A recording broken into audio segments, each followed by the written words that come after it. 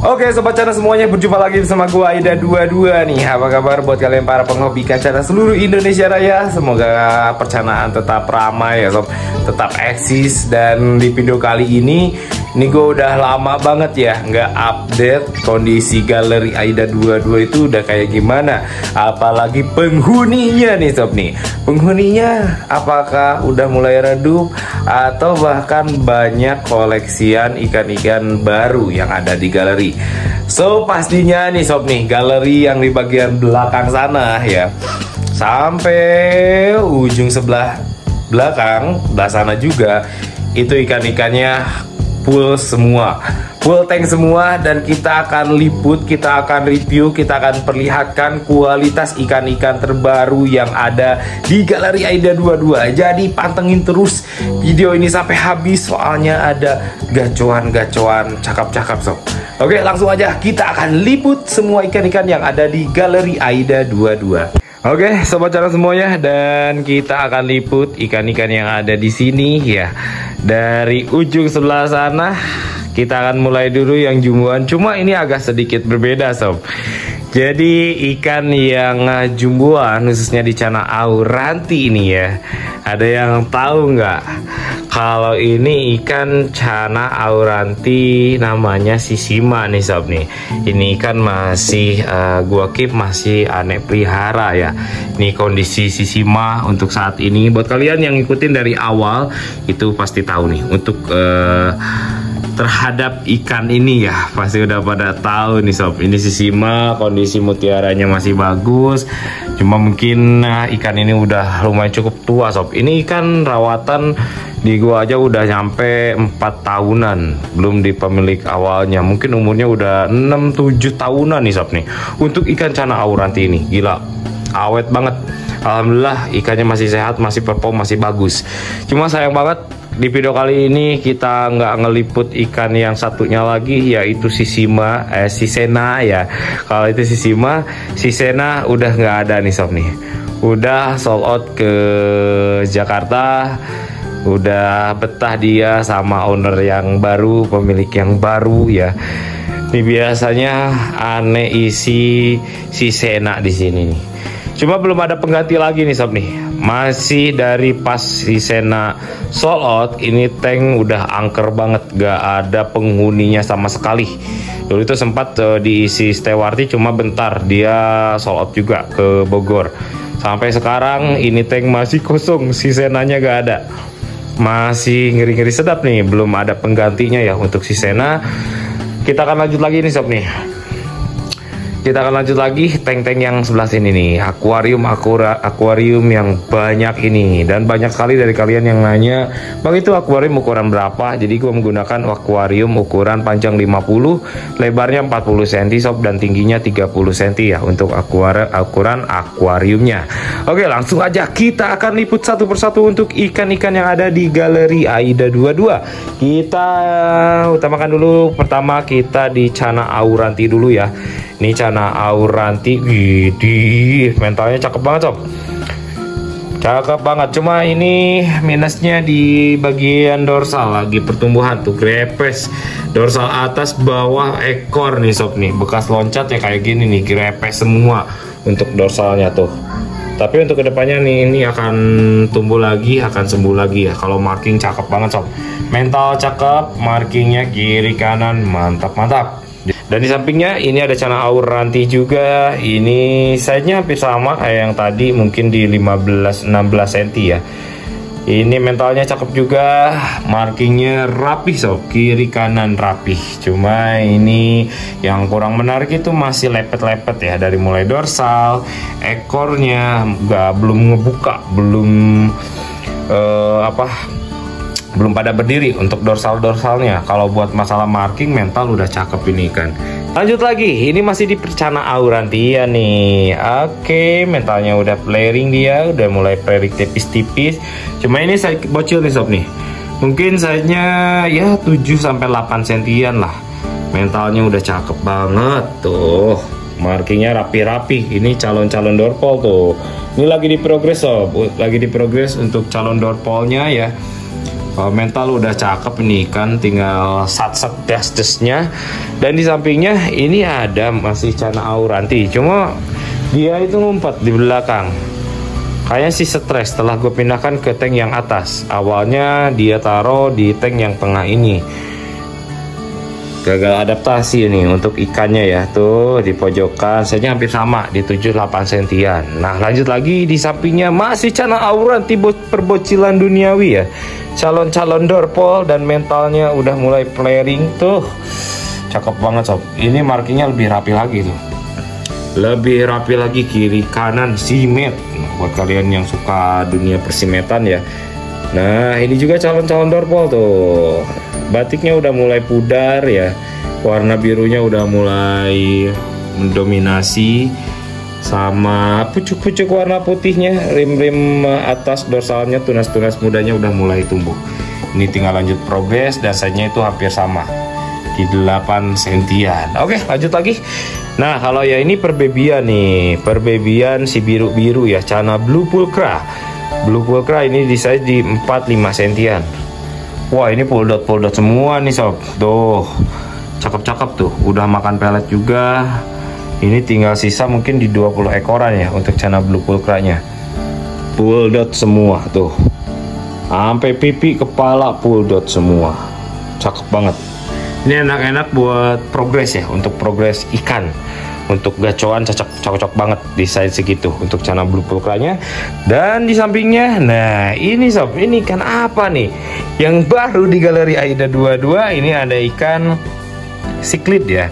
Ini siklid masuknya jenis siklid lemon nih sob. Jadi gue iseng-iseng di tank yang ada di rumah di ruang tamu itu kan ada tank yang 2 meter sama yang satu meter gue isi siklid cuma makin ke sini makin sini dia uh, apa namanya ya uh, berkembang biak ya. Dan ini anakan-anakannya sob ini base udah berapa ini? Soalnya anakan-anakan yang uh, base pertama itu udah jadi indukan lagi sekarang. Jadi semakin banyak sob. Tadinya beli cuma berapa ekor nambah lagi nambah lagi tuh. Jadi hasil kebun sendiri nih cana bukan cana ini siklid siklid lemon yang kuning-kuning. Ini saja masih bocil-bocil. Oke langsung aja kita akan lanjut lagi. Nah ini kan pasir barisan yang atas itu gue menggunakan background putih pasirnya warna merah. Kalau yang di bawahnya itu gue menggunakan substrate atau pasirnya menggunakan pasir malang warna hitam. Nah jadi kalau settingan-settingan tank itu tergantung apa nah, namanya tergantung selera sih ya tapi agak berpengaruh juga kalau di percanaan sob buat kalian untuk pengen warnanya pekat terutama di cana auranti atau cana maru itu lebih baik menggunakan settingan yang agak gelap kalau settingan terlalu putih, terlalu terang, itu biasanya pucat ke warna si ikan. Mau cana maru atau cana auranti ya. Ini ada cana maru, ini setnya lumayan cukup gede nih, di 25 cm up nih. Dan di sampingnya ini masih ada Cana Maru Yellow juga. Cana Maru Yellow kalau ini mungkin saja di 21 cm. Waduh bunganya tuh. Bunganya cakep. Pul bunga kiri kanan sob untuk Cana Maru ini. Cana Maru Yellow Sentarum. Tuh cakep. Bunga setiap bar full. Oke, okay, dan ada ikan-ikan yang jarang banget gue pelihara, jarang banget dari awal gue main ikan cana ya. Jarang banget juga, jadi gimana ya, nggak terlalu ini sob untuk jenis-jenis ikan ini dan sekarang gue pelihara ikan cananya ada empat ekor. Ini kualitasnya mantap-mantap, kualitasnya pedes-pedes dan mentalnya cakep-cakep pastinya ya. Nah ini dia nih Cana yang jarang banget gue pelihara, jarang banget gue treatment, gue coba treatment-treatment ikan jenis-jenis yang ini jarang banget sob, yaitu Cana stewarti. Gila, wih lihat tuh, ini saja masih bocil. Cakep banget, ini untuk masalah mental sat-set das-des ya. Mentalnya, cuma ini bagian kepalanya kenapa nih, kayaknya sih luka nih. Jedot-jedot ke atas kayaknya tapi masih aman. Kalau buat masalah mental aman. Warna birunya cakep.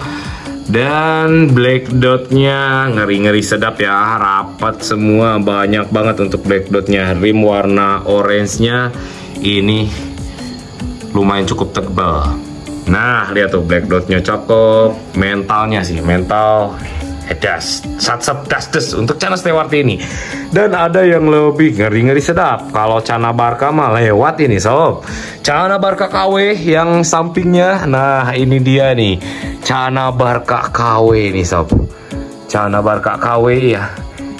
Gila loh. Kita akan perlihatkan dulu lebih dekat. Ini black dotnya lebih rapat, lebih hitam, pekat banget warna rim orange-nya lumayan cukup tebal udah kayak channel limbata ya. Dominan ini di black dotnya sob. Black dotnya ngeri-ngeri sedap untuk Cana Stewarti ini. Ya tuh ngeri-ngeri sedap. Ini mentalnya juga das the sob. Cuma kayaknya si ikan ini masih malu-malu. Kita akan coba kasih termin dulu ya. Ini mentalnya uh, apa black dotnya itu kiri kanan aman banget sob kayaknya sih udah kecapean nih. Nanti kita akan lewat dulu ya. Nanti kita akan detailnya kita akan liput lagi. Si gondres gondres nih sob nih. Gondrong gondrong ya. Ini ada cana andrau super super gondrong nih sob. Super super gondrong mentalnya cakep. Nah cana andrau nya kita akan panasin dulu pakai cermin biasa sob kalau untuk melatih mental-mental cana andrau kayak gini kita panasin dulu menggunakan cermin. Nah, dia udah mulai panas nih. Uh. Oke, kalau udah anget-anget nih, udah uh, emosinya udah naik, baru kita pakai tangan. Nah, bentar. Oke, gondrong nih sob nih. Ngucuk gondrong-gondrong, high pin, high pin nih. Saya mungkin di 10 sentian dah ada untuk cana andrau ini. Lihat tuh. High pin gondrong banget warna birunya. Cuma ini minusnya di bagian dorsal aja ya. Ini lagi proses penyembuhan juga. Ini ada sedikit grepes untuk dorsalnya. Gondrong-gondrong. Uh mantep banget. High pin nih sob nih untuk canaan rawnya calon-calon gacuan ini dia. Ini saja masih bocil banget sob untuk cana ini saja bocil. Nah Widih, kalau mental sih nggak usah diragukan lagi. Saja kecil banget yaitu Chana Andrau juga. Cuma ini kelebihannya lumayan cukup banyak. Dari mulai dorsal ya dorsal gondrong. Saja masih kecil mentalnya udah dapet. Dan bagian rim ekornya itu tebal sampai dorsal rim dorsalnya ini warna putih ya tebel juga. Udah kayak cana limbata ini sob nih. Cana andrau size bocil kondisi kualitasnya super super pedas juga. Ini mungkin saja di 4 sentian ya 3 senti ya. Tuh lihat. Tangan gua aja ini waduh. Jauh banget. Jauh banget. Ini ikan masih bocil banget. Tapi kualitasnya mentalnya cakep banget. Tuh udah mulai flaring tangan nih nih Oke, kita gedor. Apakah dia masih mau flaring? Masih barbar, sob. Kualitasnya cakep banget. Nih ya, ini calon-calon pedes. Oke lanjut lagi kita ke tank yang di bagian bawah. Nah ini dia nih. Ini ada Nah, lanjut lagi ke tank bagian bawah, nih sob nih. Ini ada yang agak unik-unik nih, yaitu ada cana limbata. Ini cana limbatanya bukan sembarang cana limbata, yaitu SB short body ini. Udah kayak ikan moli sob, tuh.